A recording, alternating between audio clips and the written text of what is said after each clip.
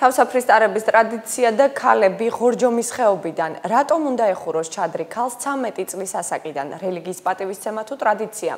რატომ ერიდებიან კამერის წინ საუბარს ის ქალები რომლებიც ეგრეთ წოდებულ კასინკას ატარებენ? ეკა ბარამიძე კი ამბობთ სილგი ასე ეძახიან თავსაფარს აჭარის შორეული მთის სოფლებში რომელიც ადგილობრივების თქმით ქალმა 13 წლის ასაკიდან უნდა ატაროს თავსაფრის ტარების ტრადიცია მაღალმთიანეთში ძირითადად მუნიციპალური ცენტრიდან კილომეტრებით დაშორებულ სოფლებში შემორჩა. განსაკუთრებით კი ამ ტრადიციას დღემდე ღორჯომის ხეობაში იცავენ. ადგილობრივები გვიყვებიან, რომ თავდაპირველად თავსაფარს რელიგიური დატვირთვა ჰქონდა. თავარი მოთხოვნა კი თმის დაბურვა იყო და ფერიც აუცილებლად თეთრი უნდა ყოფილიყო. დროთა განმავლობაში რელიგიასთან ერთად თავსაფარი ტრადიციაში გადაიზარდა და აღმსარებლობასთან ერთად ტრადიციისადმი პატივისცემის ნიშაც შეითავსა. ხენიფე ბერიძე ერთ-ერთი მათგანია, რომელმაც სილგი 13 წლისამ გაიკეთა და დღემდე არ მოუხსნია. სკოლაშიც ვიხურებდით ჩვენ მივდოდით და სულ მასწავლებლები გვეჭხობებოდნენ თავზე მიიხადეთ, თავზე მიიხადეთ, ვერ ვიხდიდით. თეთრ თეთრ ლაჩაკდი ვიხურებდით, გარდა ლაბაზი გრიონი იყო და დაწესებული, იმას ვიხურებდით, აცხაწევდოდით, კიდევ 13 თავშალდე ვიხურებდით თავზე. წევდოდით, წევდოდით.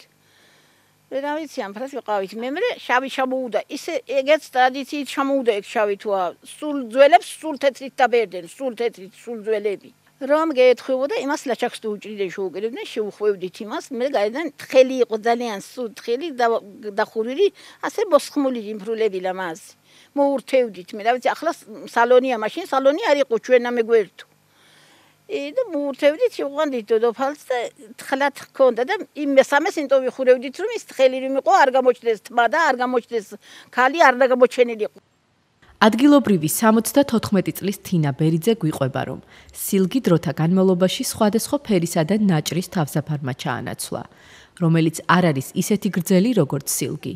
ამ ტიპის თავსაფარს კი კასინკას ეძახიან.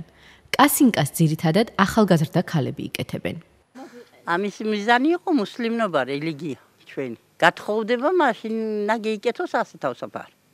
რომ გათხოვდება. გათხოვებანი არ არის საჭირო. საჭირო არ არის. ახალი ძლების სულ ყველა კასინგასად არის. ეს მოხუცები გვახურავს ასე ეს თავსაფარი. ადგილობრივ ქალებთან ერთად თავსაფრის ტარებას ტრადიციისა და რელიგიისადმი პატივისცემად მიიჩნევენ კაცებიც. ამბობენ, რომ ქალმა თავსაფარი გათხოვების შემდეგ აუცილებლად უნდა ატაროს. ჩვენ სოფელში, ხორჯომში თავსაბურავი არის აუცილებელი სარწმუნოების მიმართაც, ჩვენ ტრადიციების მიმართაც.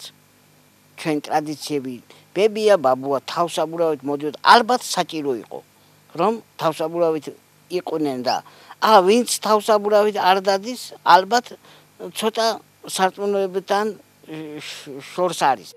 ნოდარ ბერიძე ამბობს, რომ დღეს ხეობაში თავსაფარს ძირითადად ის ქალები ატარებენ, რომელიც მუსლიმურ სასწავლებელში მედრეში სწავლობენ. სარწმუნოებას მიდიოს, ისწავლა ულესი, ისწავლა აქ სოფელში არის მაგის სასწავლებლის სპეციალური მედრეში სულაღიჩვი. ხოლმე გამოყოფილი და ასწავლის ბანებს. ახლა სკოლა არ არის, სკოლას 12-მდე შაფათვია სასწავლის მარტო. შაფათი იმის გარდა სკოლაში ერებიან. თაში დღემდე შემორჩენილ ამ ტრადიციაზე ქალებს საჯაროდ საუბარი უჭირთ. უფრო მეტიც, თელს ხეობაში იშვიათად იპოვი ქალს, ვინც სატელევიზიო ინტერვიუზე დაგთანხმდება.